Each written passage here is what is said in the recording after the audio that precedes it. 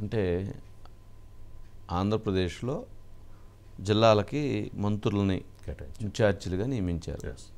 అందులో మనం చూస్తే శ్రీకాకుళం జిల్లాకి కొండపల్లి శ్రీనివాసు పార్వతీపురం మన్యం అట్లాగే కోనసీమకి అచ్చెన్నాయుడు గారు విజయనగరం వంగలపూడి అనిత గారు విశాఖకి డోలా బాల వీరాంజనేయ స్వామి గారు అట్లాగే అల్లూరికి గుమ్మడి సంధ్యారాణి గారు అనకాపల్లికి కొల్లు రవీంద్ర గారు కాకినాడకి పొంగూరు నారాయణ గారు తూర్పుగోదావరి జిల్లా కర్నూలుకి.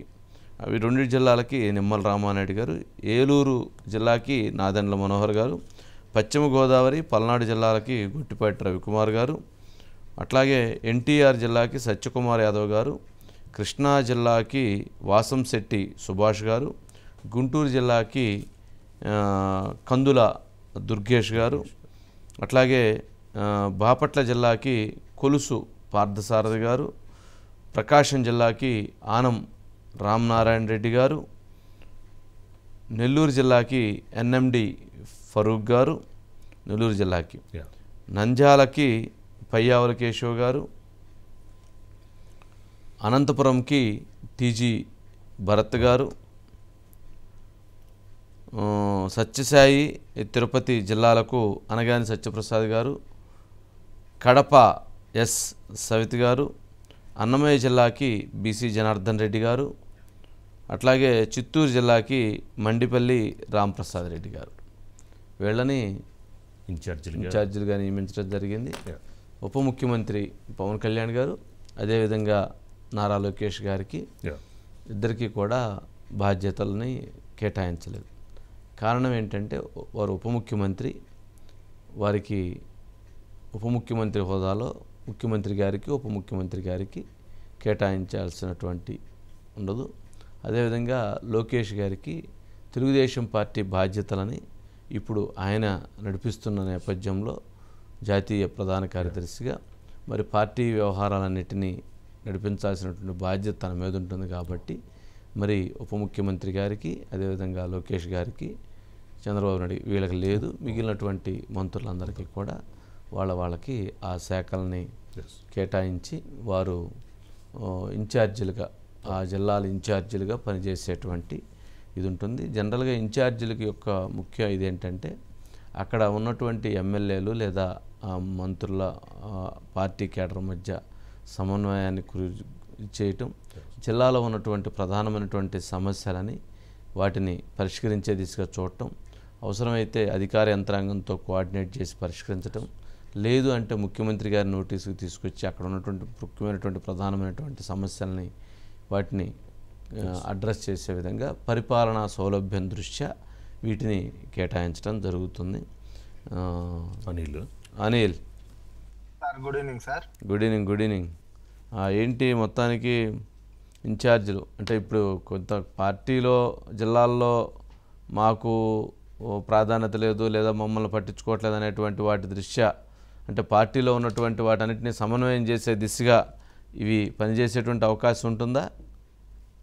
ఖచ్చితంగా సార్. పార్టీకి ప్రభుత్వానికి మధ్య వారధిలాగా ఇన్ఛార్జ్ మంత్రులు పనిచేస్తారు. అంటే ప్రభుత్వం తరపున ఇన్ఛార్జ్ మంత్రులుగా ఉంటారు. అట్ ద సేమ్ టైం వాళ్ళనే మళ్ళీ పార్టీ తరపున పార్టీ పరంగా కూడా ఆ జిల్లాలకి ఇన్ఛార్జ్లుగా కూడా పెట్టుకునే ఒక సంస్కృతి ఎప్పటి నుంచో ఉంది. అయితే ఇన్ఛార్జి మంత్రి వ్యవస్థ అనేది రాజకీయాల్లో సుదీర్ఘ కాలం నుంచి వస్తుంది.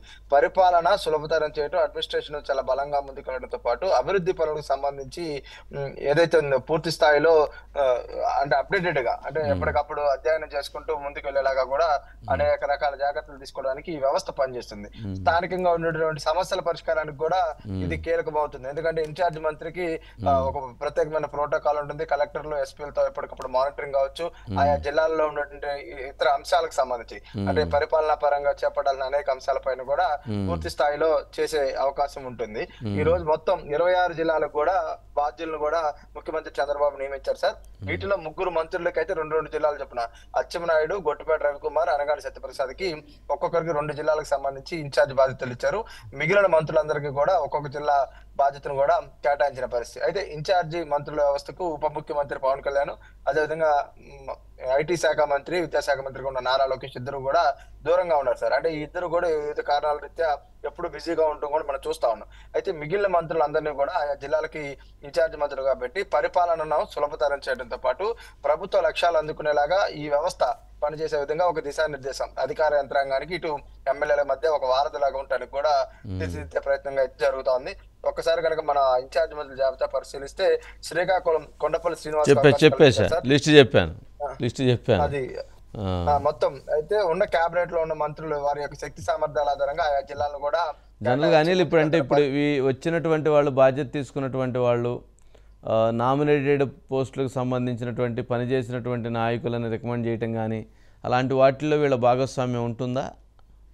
ఖచ్చితంగా సార్. అంటే పార్టీ పరంగా కూడా వీరికే. ఎందుకంటే ప్రతి పార్టీకి జిల్లాకి ఒక కీలక నేతను ఇన్ఛార్జ్గా పెట్టుకుంటూ రాజకీయ పార్టీలు ముందుకెళ్తాయి. అంటే ఆ జిల్లాల్లో జరిగే రాజకీయ పరిణామాలకు. అయితే ఇన్ఛార్జ్ సహజంగా అధికారంలో ఉన్న పార్టీ ఏంటంటే ఇన్ఛార్జ్ మంత్రి పరిపాలన వ్యవహారాలతో పాటు పార్టీ పరంగా కూడా ఆయన నాయకుడిగా పార్టీ వ్యవహారాలు కూడా చూస్తారు.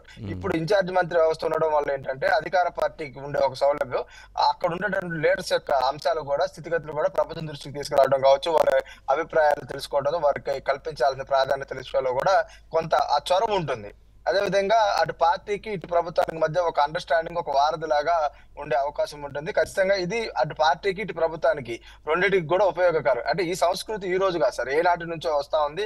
దీని వల్ల ఏంటంటే ఇందాక మనం అనుకున్నట్టు రెండు రకాల ప్రయోజనాలు కూడా. అంటే పార్టీ పరంగా చేపట్టాలనే అంశాలతో పాటు ప్రభుత్వ పరంగా చేస్తున్నటువంటి మైలేజ్ని పార్టీ పరంగా ఉపయోగించుకోవాల్సిన అంశాలకు కూడా దోహదపడుతుంది. ఇక గాడిలో పరిపాలనా యంత్రాంగం సహజంగా ఏంటంటే జిల్లా అధికార యంత్రాంగానికి స్థానికంగా ఉండే నేతల మధ్య కోఆర్డినేషన్ కొంత దెబ్బతింటూ ఉంటుంది. ఎందుకంటే ఈగో ప్రాబ్లమ్స్ వస్తాయి సార్. సహజంగా అధికారుల యొక్క ప్రోటోకాల్స్ వాళ్ళ యొక్క రూల్స్ ఒకలాగా ఉంటాయి పొలిటికల్ థింగ్స్ మరోలాగా ఉంటాయి వీటన్నిటిని ప్యారలల్ చేయడానికే ఇన్ఛార్జ్ మంత్రి వ్యవస్థను ఎప్పుడో రూపొందించారు. అది ఎప్పటి నుంచో కొనసాగుతుంది. ఇప్పుడు కూడా కొంత ఆలస్యం జరిగింది. వాస్తవానికి ప్రభుత్వం ఏర్పడిన తొలినాళ్ళలోనే ఇన్ఛార్జ్ మంత్రి వ్యవస్థను ఎప్పటికప్పుడు ప్రభుత్వాలు సర్దుబాటు చేస్తాయి. కానీ ఈసారి కూటమి ప్రభుత్వం దాదాపు నూట ఇరవై రోజుల తర్వాత జిల్లాలకు ఇన్ఛార్జ్ మంత్రులుగా కూడా ఎందుకు ఆలస్యం అవుతుంది అనిల్? అట్లాగే నామినేటెడ్ పోస్టులు ఇంకా పెండింగ్ ఉన్నాయి. అవి కూడా వెయిట్ చేస్తున్నారు. ఇట్లా చాలా ఉన్నాయి కదా. త్వరగా ఇచ్చేయచ్చు కదా. అందరూ ఎవరి పనిలో వాళ్ళు బిజీ అయిపోతారు కదా. అన్నీ మీ దగ్గర పెట్టుకుంటే ఎట్లా? అంటే కార్యకర్తలు తెలుగుదేశం పార్టీ లేదు కూటమికి సంబంధించిన నేతల యొక్క అభిప్రాయం ఒకలాగా ఉంది. ముఖ్యమంత్రి గారి ఆలోచన మరోలాగా ఉంది సార్ ఈ మొత్తం ఎపిసోడ్లో అది ఏంటంటే ముఖ్యమంత్రి గారు గతంలో చోటు పరిణామాలు అంశాల ఆధారంగా ప్రభుత్వాన్ని గాడిలో పెట్టడానికి అధికార యంత్రాంగాన్ని గాడిలో పెట్టి పాలన ముందుకు నడిపించడంలో ఆయన బిజీ అయిపోయారు. పొలిటికల్గా తీసుకోవాల్సిన నిర్ణయాలు కొంత జాప్యం జరుగుతుంది. అయితే ప్రతిపక్షంలో ఉన్నప్పుడు కేవలం వంద నూట యాభై రోజుల్లో మొత్తం ప్రక్రియ పూర్తయి ఎవరికి వారు ఐదేళ్ళ పాటు పరిపాలన పరంగా ముందుకెళ్ళొచ్చనే ఆలోచన భావించారు. కానీ ఇది ఎప్పటికప్పుడు ఆలస్యం అవుతుంది. తొలి జాబితాలో ఇరవై కార్పొరేషన్లకు పదవులు ఇచ్చినప్పటికీ కూడా ఇంకా రావాల్సినవి చాలా ఉన్నాయి. వాటన్నిటిపైన ఎప్పటి నుంచో ఎదురు చూస్తున్నారు. ఇప్పుడు ఇన్ఛార్జ్ మంత్రి వ్యవస్థ కొంత రావడం సహజంగానే ముఖ్యమంత్రి దగ్గరికి కొన్ని రిప్రజెంటేషన్ వెళ్ళడం ఇవన్నీ జరుగుతూ ఓకే. ఓకే. రైట్ ఇప్పుడు కా- ఇక్కడ ఇంకో సమస్య ఏంటంటే ఇన్ఛార్జ్ మంత్రులు వెళ్తారు కదా అక్కడున్న ప్రజాప్రతినిధులకి వీళ్ళకి మధ్య కొన్ని సందర్భాల్లో క్లాషెస్ వస్తాయి. ఇక అది ఇంకో పెద్ద పంచాయతీ అవుతుంది. వాళ్ళు ఇన్ఛార్జ్ జిల్లా మంత్రిని మార్చండి ఇంకోరిని ఇవ్వండి అని ఎట్లా అడగటం లేదా వీళ్ళు అక్కడ సమన్వయం చేసుకోలేకపోవటం అక్కడ వీళ్ళు ఇంకో గ్రూప్ని ఎంకరేజ్ చేయాలనుకోవటం లేదా వాళ్ళు ఇంకో గ్రూప్ని ఇచ్చేయాలనుకోవటం ఇట్లా కొంత ఆధిపత్య ధోరణి వచ్చినప్పుడు ఏమైందంటే అది ఎక్కువ నష్టం చేసిద్ది. అలా కాకుండా అసలు ఇన్ఛార్జి అనేటువంటి బాధ్యతలు ఏంటంటే సమన్వయం చేయటం సమస్యను పరిష్కరించటం. అక్కడ ఉన్నటువంటి వా పనిచేసినటువంటి వాళ్ళు అక్కడ ఉన్నటువంటి అభివృద్ధి దిశగా అడుగులు వేయించే దిశగా అక్కడ కార్యాచరణ చేయటం. అంతేగాని వీళ్ళే ఇంకో వివాదాన్ని ఇంకో సమస్యను సృష్టిస్తే వెళ్ళినటువంటి వాళ్ళు అది మరింత నష్టాన్ని చేకూర్చేటువంటి పరిస్థితి అవుతుంది. సరే అవన్నీ మామూలుగా అయితే అండి ఆ జిల్లాకు సంబంధించిన మంత్రిని ఆ జిల్లాకి ఇన్ఛార్జ్ చేస్తే అప్పుడు మీరు అన్నట్లు ఈ యొక్క అది అది అది చాలా గ్రూప్స్కి చాలా ఇబ్బంది ఉంది. అక్కడ అటువంటి ప్రాబ్లం వస్తుందని ఇట్లా తీసుకెళ్ళి రైట్ అనిల్.